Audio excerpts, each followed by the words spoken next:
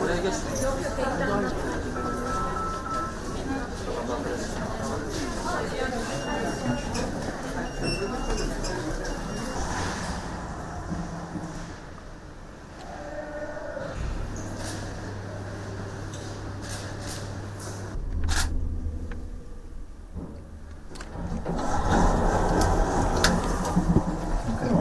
Şu an gördüğünüz gibi temiz temiz işaretledik. Ee, öncelikle her şeyin başı sağlık diyoruz. Sağlığın başı da hijyen, temizlik e, dememiz gerekiyor. Özellikle pandemi sürecinde bunu çok net bir şekilde tüm halkımız ve bizler daha net bir şekilde öğrenmiş olduk.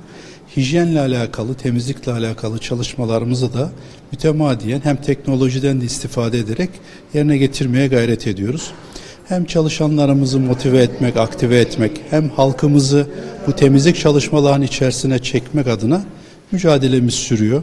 Daha önce tuvaletlerde hem personel hem hasta hem tüm tuvaletlerde kare kod uygulamasına geçmiştik. Bunu şimdi bir yukarıya daha taşıyoruz. İlimizdeki sağlık tesislerimizdeki bütün asansörlerde pazartesi itibariyle başlattığımız uygulamayla e, tüm asansörlerin temizliklerini an be an takip edeceğimiz, halkımızın duygu düşüncelerini, e, sorunları veya teşekkürünü iletebileceği bir sisteme dönüştürmüş durumdayız. Onunla birlikte hem sorun varsa, kirlilik varsa hemen ulaşılmasını, SMS'le birlikte ilgili personele ve idarecilere ulaşılmasını sağlıyoruz ve e, her e, saatte bir veya yarım saatte bir yaptığımız temizlikleri daha erkene yapabilir duruma da gelmiş oluyoruz kirli ise.